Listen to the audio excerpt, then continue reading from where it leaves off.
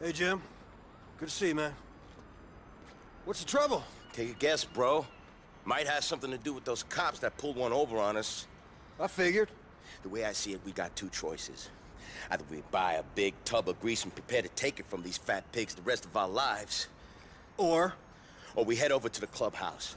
Close to where I happen to know they got themselves set up, and we show them that we're not quite the bitches that they think we are. well, well, tempted as I am by your first option, I'm gonna have to go with the second. I figured you'd say that. Lead on, James.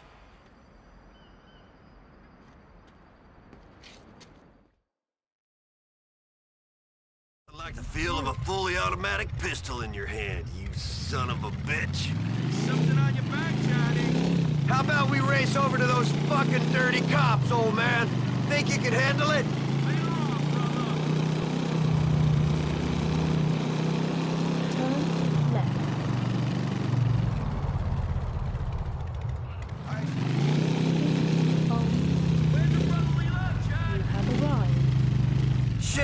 Shit, You should think about retiring with moves like that.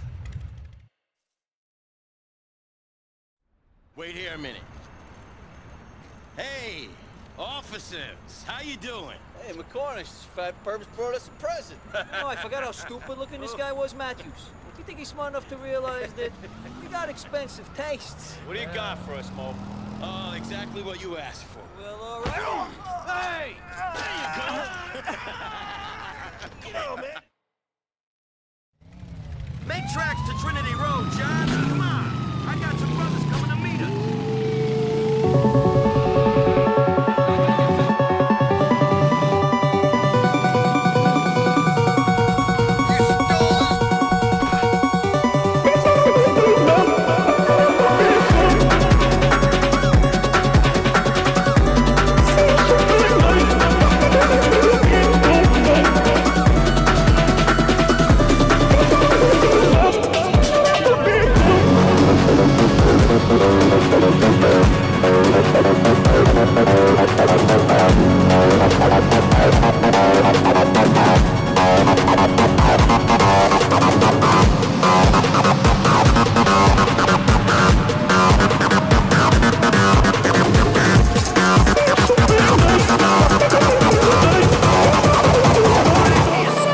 Time's